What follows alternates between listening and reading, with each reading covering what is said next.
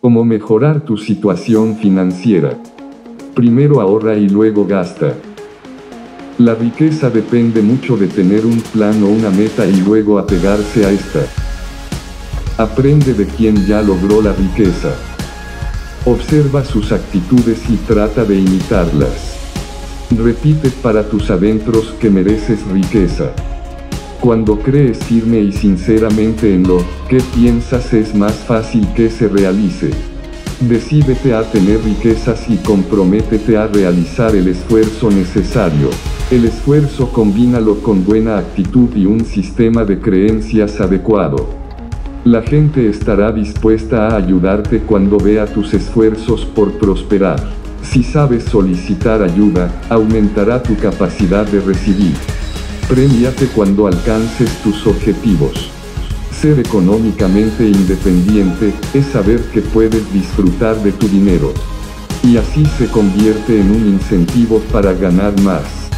Descubre tu talento, tus actitudes y habilidades, busca la manera y ve en velos. Hazte útil. Expande tu sistema de creencias en cuanto a lo que eres capaz de lograr. Descubre una buena idea en un libro, en una grabación o en un video. Por estos motivos lleva contigo siempre algo de dinero.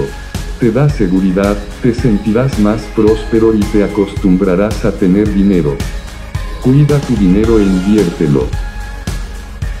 Aprende la diferencia entre gastar e invertir.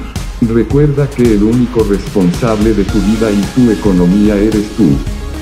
No culpes de tus acciones a tus padres, el clima, gobierno, empleo o educación.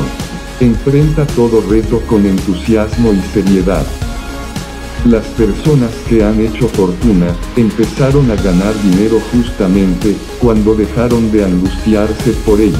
Recuerda que la pobreza puede ser un estado mental.